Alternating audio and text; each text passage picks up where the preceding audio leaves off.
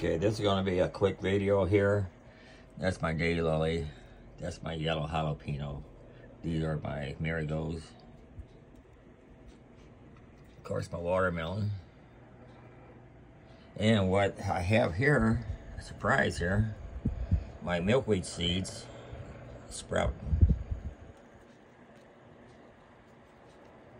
And all I did was put them in uh, lay on a wet paper towel, put them in the baggie, put them in the fridge for two months, and uh, brung in my studio. day later, they sprouting. It does work. This is one I bought off of eBay. This one I picked from the backyard. Thanks for watching.